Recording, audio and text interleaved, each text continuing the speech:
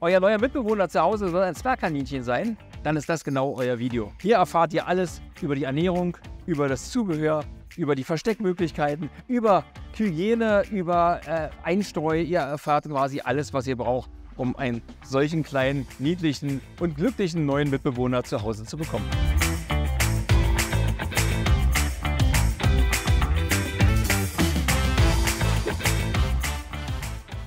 Wusstet ihr schon, es gibt ein Land auf der ganzen Welt, das nach einem Tier benannt ist. Und das ist Spanien. Warum, erkläre ich euch. Die Kaninchen leben in Südspanien und Nordafrika und die alten Phönizier vor vielen tausend Jahren kamen dahin und erkannten die Kaninchen als Klippschliefer. Das ist ein anderes kleines Tierchen in der Größe. Das nannten sie Ischapan. Und das Ischapan machten dann später die Römer Hispania, Hispania, Espanol, Spanien. Spanien heißt Kaninchenland. Jetzt ein paar Fakten, die ihr unbedingt wissen solltet. So ein Kaninchenleben ist zwischen sechs und zehn Jahren. Man sagt so im Schnitt acht Jahre. Geschlechtsreif sind die Tiere schon, die Männchen nach drei Monaten, die Weibchen nach vier Monaten. Die Zuchtreife sollte man normalerweise sechs Monate abwarten, da sind die Tiere alt genug. Zum Thema Zucht, äh, damit euch hier nicht ein Fauxpas passiert und ihr ungewollt Kinder habt, da haben wir euch die Mühe schon abgenommen, den Weg zum Tierarzt äh, euch erspart. Bei uns gibt es nur kastrierte Männchen. Da sind wir schon bei der Konstellation. Die Tiere sollten am besten in einer Paarhaltung äh, zusammenleben. Man kann auch eine größere Gruppe nehmen. Dafür sollte es aber dann schon ein Kaninchenzimmer geben, was wir sehr gerne auch euch ans Herz legen werden. Ähm, dazu dann später mehr. Aber ganz wichtig ist die Sache, egal wie viele Tiere ihr nehmt, nehmt sie immer so, dass sie automatisch paarig sind. Also immer gerade Zahlen. Für die Kaninchenhaltung brauchen wir natürlich irgendwas, wo die drin leben können. So ein Meter 60 Käfig ist für uns die kleinste Variante, äh, in der zwei Kaninchen gehalten werden können. Allerdings sagen wir immer, seht zu, dass ihr ihnen irgendwo die Möglichkeit gebt, ein großes Zimmer einzurichten. Wir reden hier von einem Kaninchenzimmer. Das ist der absolute Wohlfühlbereich, den die Tiere wirklich brauchen. Denn außerhalb eines solchen Käfigs brauchen sie auch mindestens 6 Quadratmeter, um einmal durch die Gegend hüpfen zu können. Schön ist natürlich, den nur als Rückzugsmöglichkeit anzubieten. Da kann ich dann meine Futtersachen reinpacken. Ich kann dort meine eventuelle Toilette für das äh, Kaninchen dort hineinpacken. Das ist völlig okay. Der lässt sich aufklappen. Und dann haben wir hier die Möglichkeit, dass die Tiere rein und rausspringen können, wann immer sie möchten. Jetzt zeige ich euch, wie man alles fürs Kaninchen richtig einrichtet. Wir haben hier unser kleines Biotop. Das ist ungefähr so, wie wir uns ein Kaninchenzimmer vorstellen. Und hier unten anhand diesem Beispiel werde ich euch mal genau erklären, welches Einstreu wir nehmen, warum wir welches Häuschen nehmen und ach, da ist schon einer fleißig am Fressen, was für ein Futter natürlich die Tiere bekommen. Fangen wir mal mit den Einrichtungsgegenständen an. Ganz wichtig bei den Kleinen ist, ähm, ich muss irgendwie Verstecke drin haben. Man darf nicht vergessen, die Kaninchen sind äh, große Horden normalerweise gewöhnt und sind unterwegs eben in vielen Individuen. Und da gibt es natürlich eine ganz klare Hierarchie. Bedeutet, wenn der Big Boss vorne reingeht und ich habe keine Chance, irgendwo rauszukommen, dann habe ich Stress. Also immer, egal welches Häuschen ihr nehmt, es gibt einen Eingang, einen Ausgang oder eben ihr nehmt eine Weidenhöhle, da ist genau das gleiche Problem. Hier kommt jemand rein, hier ist zu, gibt Stress, also sage ich, beide Seiten offen. Sehr schön, kriegst du wieder beim Rücken, mein Kleiner. Und damit habe ich von Hause aus Stress vermieden. Die Tiere haben viel mehr Ruhe und Happy Kaninchen, na, die sehen so aus. Ihr seht gerade, wie fleißig die hier fressen und sich gegenseitig rausschubsen. Das ist übrigens der Grund, wenn ich mehrere Tiere habe, pro drei Kaninchen gibt es immer ein Näpfchen Futter, damit es auch nicht irgendwo Streitigkeiten gibt und auch da der Ranghohe den anderen versucht wegzuschieben. Es gibt immer genug Möglichkeiten. Zusätzlich haben wir verschiedene Bereiche, wo auch noch Kräuter angeboten werden. Das kann man auch mal in so einer kleinen Raufe dann machen. Das ist eine schicke Sache. Es gibt auch immer Äste, aber das erkläre ich euch gleich gesondert. Wasser ist eine wichtige Sache. Immer hochstellen. Wenn das Wasser unten steht und die Kaninchen hüpfen durch die Gegend, dann fliegt natürlich Streu mit hoch, dann fliegt natürlich ein bisschen Strom mit hoch und das landet dann im Wasser. Das soll nicht sein. Das Trinkwasser sollte ja frisch sein. Jetzt erzähle ich dir ein bisschen was über das Einstreu. Wir haben erstmal drei verschiedene Grundeinstreusorten. Äh, und zwar habe ich einmal ein Unterstreu, ein Mittelstreu und ein Überstreu. Das Unterstreu, das sind solche harten Holzpellets. Die sorgen dafür, dass wenn mal irgendwie in die Ecke reingepullert wird, dass das auch wunderbar aufgesaugt wird. Hintergrund der ganzen Nummer ist, dass wir mehrere Streusorten haben. diese kleinen, runden, harten Pellets, die sind nicht so schön für die ganzen Füßchen. Das heißt, wenn die darüber gehen, das drückt. Unangenehm soll es ja nicht sein. Also kommt darüber ein relativ weiches Einstreu. Ob ich jetzt ein Linum nehme oder ob ich jetzt ein Hanfeinstreu nehme, das ist völlig egal. Ich habe hiermit erstmal eine feinere Abdeckung darüber. Und auf diese ganze feine Abdeckung kommt dann nochmal eine richtig schön dicke Schicht mit Stroh. Das Stroh hat nicht die Eigenschaft, sich aufzusaugen, sondern wenn da mal jemand reinpullert, das läuft wunderbar daran vorbei, wird er hier ein bisschen absorbiert, ansonsten komplett da unten aufgesaugt. Das hält den Geruch ein bisschen zurück und damit habe ich erstmal drei Komponenten, die mein komplettes Einstreu ausmachen. Zusätzlich nehmt mal ein Überstreu noch dann als extra dazu, damit die Tiere auch mal etwas anderes unter den Füßchen spüren. Hier habe ich jetzt gerade was rausgesucht, ein Walderlebnis nennt sich das. Hier sind ein bisschen Muse mit drin, ein, zwei, drei kleine Stöckchen und natürlich ganz viele tolle Blätter. Alles davon kann natürlich gefressen werden. Da gibt es ganz viele verschiedene Möglichkeiten. Was ich euch gerne ans Herz legen möchte, verzichtet bitte das, was früher gemacht wurde, auf die normale Sägespäne. Die staubt sehr stark und ist meistens äh, dafür verantwortlich, dass die Tiere Atemwegserkrankungen kriegen. Jetzt erkläre ich dir im Grunde die ganzen Futterkomponenten. Als erstes haben wir das Hauptfutter. Beim Hauptfutter gibt es zwei verschiedene Möglichkeiten. Entweder man gibt ein normales Kraftfutter, da muss man aufpassen, nicht mehr als man sagt so 50 Gramm pro Tier im Grunde am Tag. Äh, oder man gibt eine, ich sag mal, leicht bekömmliche Variante. Das ist das, was wir empfehlen. Wir haben hier Kräuterpellets, die sind aus über 30 verschiedenen Kräutern zusammengesetzt, auch extra strukturiert äh, dass sie für den Zahnabrieb auf der einen Seite sorgen und auch gut aufgenommen werden können von dem Tier. Die können quasi satt komplett drin liegen. Zusätzlich zu den normalen Kräutern, die wir in dieser hart gepressten Form haben, immer ausreichend Kräuter anbieten, die in loser Form dargeboten werden. Hier habe ich zum Beispiel eine Variante, da ist Beifuß, Gänsefuß und ein bisschen Brennnessel mit drin. Es gibt ganz, ganz, ganz viele verschiedene Möglichkeiten, hier vorne äh, ist das gleiche auch ein bisschen mit Blüten nochmal. Hier sind verschiedene Komponenten drin. Ich habe Petersilienwurzel und ich habe Hibiskusblüten.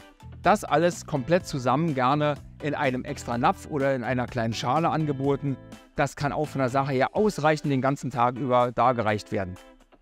Heu sollte immer zur Verfügung führen, denn, äh, zur Verfügung stehen, denn die Kaninchen haben einen Stopfmagen. Das heißt, sie müssen immer, immer fressen. Nicht so wie bei uns, dass das einfach weiter transportiert wird, sondern da muss von oben wirklich Nahrungsbrei kommen, der das Ganze in den Magen reindrückt. Darum Heu immer komplett da haben. Hier haben wir zwei verschiedene Sorten Heu. Ich habe immer ein weiches Heu, das nenne ich das Kuschelheu. Das ist das, was die auch gerne nehmen, sich einfach mal ein Nestchen, eine kleine Sasse hinzusetzen und sagen, okay, komm, ich kann mich da ein bisschen einkuscheln. Das wird natürlich auch gefressen, aber wichtig ist, dass ich etwas habe, was auch langfasrig ist. Dieses Heu wird meistens nicht gekauft, darum empfehlen wir es immer extra, denn es sieht sehr unattraktiv, sehr hart aus. Das ist aber sehr gut gerade für den Zahnabrieb. Zum Zahnabrieb kommen wir auch noch gleichzeitig bei den Obstgehölzen. Nehmt bitte Obstzweige, die sind genauso gut. Die Zähne müssen sich abnutzen können. Man kann es sich gar nicht vorstellen, aber so ein Zahn wächst normalerweise gerade im Unterkiefer 0,75 mm am Tag. Das sind knapp 30 cm im Jahr. Das muss man sich mal vorstellen. Da muss also wirklich ganz, ganz viel abgerieben werden. Ganz wichtige Sache, deshalb langfaseriges, hartes Heu. Ein Mineralstein ist klar, Mineralversorgung, Spurenelemente auf jeden Fall. Fürs Wasser gebe ich es sehr gerne einmal gerade nach dem Umsetzen. Die Tiere haben Stress äh, und dann ist es auch immer ganz wichtig, dass man sagt, sie müssen gut bei mir zu Hause ankommen und der Darm soll sich erstmal beruhigen. Dafür haben wir solch ein Präparat, das ist für die Darmflora da. Ausreichende Bakterien können sich dann wunderbar wieder ansiedeln, die guten Bakterien vor allen Dingen, die dann eben dafür sorgen, dass es dem Tier auch gut geht. Und dann auf der anderen Seite mal ein Vitaminprodukt. Hier ist L-Carnitin mit drin. Das sorgt für eine Fettverbrennung. Das ist auch gar nicht verkehrt natürlich, falls es mal ein Leckerli zu viel gibt. Obst und Gemüse. Obst und Gemüse, klar, nach Eingewöhnung immer gerne alles anbieten. Unsere Tiere hier kriegen Apfel und Möhre und das in recht kleinen Portionen, weil sie das äh, noch gar nicht so großartig kennen. Da muss man aufpassen, dass man das nicht einfach zu viel gibt. Wir geben hier, äh, ja, wir sagen es auch 10, 15 Gramm, bedeutet also im Klartext eine so eine Möhre, die ist hier für 8 bis 10 Kaninchen und genauso ein Apfel klein zerschnitten für 8 bis 10 Kaninchen. Also gibt vielleicht erstmal, wenn ihr nur zwei oder vier solcher Tiere habt, einfach nur erstmal die halbe oder die Viertelportion für den Anfang. Später natürlich gerne mehr. Also um das nochmal alles komplett äh, zusammenzufassen, man kann gar nicht von diesen äh, ganzen Kräutern zu viel füttern.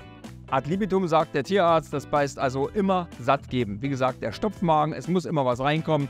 Ist es ein Kräuterpellet, kann der so viel drin liegen, wie in den Napf reinpasst und der sollte niemals alle werden. Das Heu sollte niemals alle werden. Kräuter immer da reichen. Sorgt dafür, dass immer ein, zwei solche Ästchen auch irgendwo mit rumliegen, bis die Rinde ab ist, dann natürlich zwei neue. Bei den Äpfeln und bei den Möhren achtet darauf, dass ihr am Anfang nicht allzu viel gebt. 10 Gramm pro Tier pro Tag. Das sollte für den Anfang ausreichen. Später sind sie daran gewöhnt, können sie natürlich mehr kriegen. Tja, und das war es im Grunde. Eigentlich immer komplette, volle Möhre im wahrsten Sinne des Wortes für eure Kaninchen. Jetzt für dich nochmal eine kurze Zusammenstellung über die Näpfe und was da reingehört. Wir brauchen einen Wassernapf. Der steht immer erhöht auf einem flachen Häuschen, damit eben kein Streu da reinkommen kann, das Wasser verunreinigt. Wir haben hier einmal das Kraftfutter. Wir nehmen, wie gesagt, bei uns kein Kraftfutter, wir nehmen ein Kräuterfutter. Dadurch kann es immer satt drin sein, das ist das Schöne. Ich brauche also nicht darauf achten, wie viel Gramm gebe ich. Hier immer volle Granate.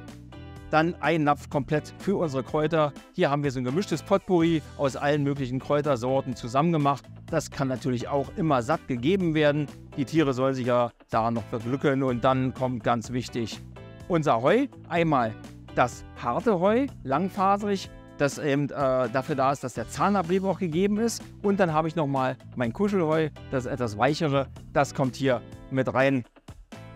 Dann für die Tierchen, die können sich dort ein kleines Bettchen bauen. Und natürlich nicht zu vergessen, wir sprachen ja über Möhre und Apfel. Hier also darauf achten, dass ich eben ungefähr 10 Gramm äh, gebe. Wir haben hier einige Tiere drin, das heißt also pro äh, 10 Tiere gibt es hier eine Möhre und ein Äpfelchen. Ich habe es jetzt hier halbiert. Und nochmal der Hinweis für Zahnabrieb, da haben wir dann also eine wunderschale, äh, wunderschöne Futterraufe. Und diese wunderschöne Futterraufe ist dann mit unseren Obstbaumstöckchen bestückt, damit die Tierchen dann noch schön ihre Zähne weiter runterraspeln können.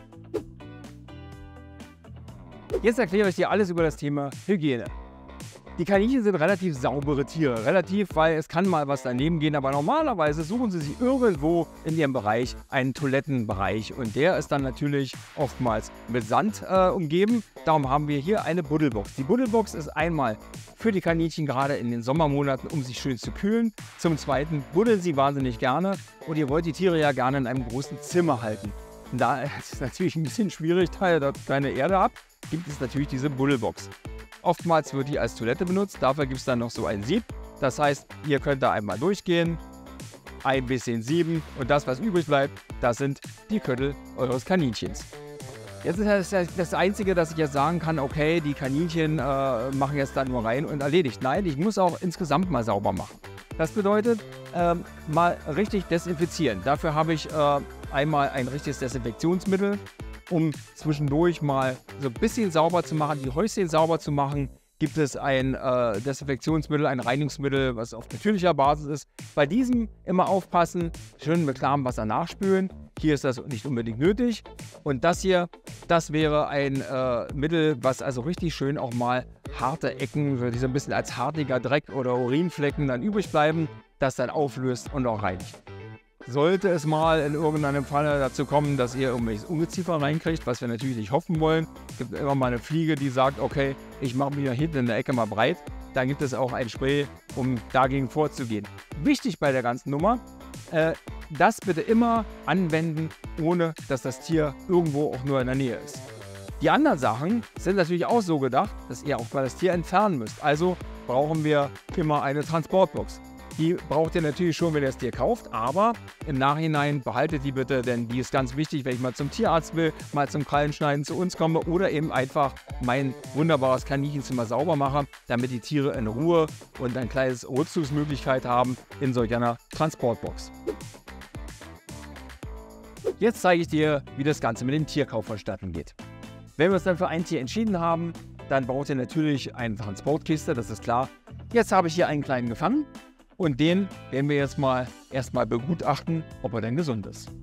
So, jetzt wollen wir unseren kleinen Freund natürlich nicht allzu lange stressen. Dementsprechend schauen wir mal schnell einmal hier unten. Ist der Po sauber? Hier gucken wir gleich mal Junge oder Mädchen. Okay. Hier haben wir einen kleinen Jungen. Dementsprechend müsst ihr euch natürlich den Namen dann auch aussuchen. Die Augen werden angeschaut, ob sie schön klar sind, nicht verklebt. Dann, was die immer nicht ganz so mögen, aber was dann trotzdem sein muss. Wir schauen mal ganz kurz die Zähnchen an. Zack. So, gucken wir mal. So, schaut mal. Die sehen gut aus, die sind nicht schief, die sind völlig in Ordnung. Also kann der kleine Freund jetzt umziehen in sein neues Zuhause. Da wir uns den kleinen Mann jetzt angeschaut haben und der natürlich augenscheinlich gesund ist, möchte ich euch trotzdem noch etwas erzählen. Ganz wichtig, achtet immer auf euer Tier. Sollte es sich irgendwie anders benehmen, als ihr das kennt, das heißt mal die Flanken einziehen oder den Rücken mal krümmen oder er ist teilnahmslos in der Ecke und ihr merkt also auch, äh, sonst hüpft er immer durch die Gegend, wenn er seine Möhrchen gibt. Das macht er jetzt gerade nicht. Hat er eine kleine Schnoddernase, dann bitte sofort zu uns kommen. Wir helfen euch. Wir können euch auch einen guten Tierarzt empfehlen, weil das sind dann meistens Anzeichen, dass es dem Kleinen nicht so gut geht. Was ich euch natürlich nicht vorenthalten möchte, es gibt auch eine Außenhaltung. Klar, nicht anfangen damit, wenn die kalte Jahreszeit anfängt. Die brauchen natürlich ein bisschen Vorlauf. Die Tiere sind jung. Bei uns sind die normalerweise, sagen wir mal so, um die acht Wochen alt. Und bei acht Wochen alten Kaninchen, die dann im Spätherbst rauskommen, das ist nicht so gesund. Aber gerade im Laufe des Sommers ist das eine wunderbare Sache. Wer einen Garten hat, der kann dann hier ein kleines Gehege noch mit draußen ranmachen. Ähnlich wie in dem Kaninchenzimmer, was wir euch ja so ans Herz legen.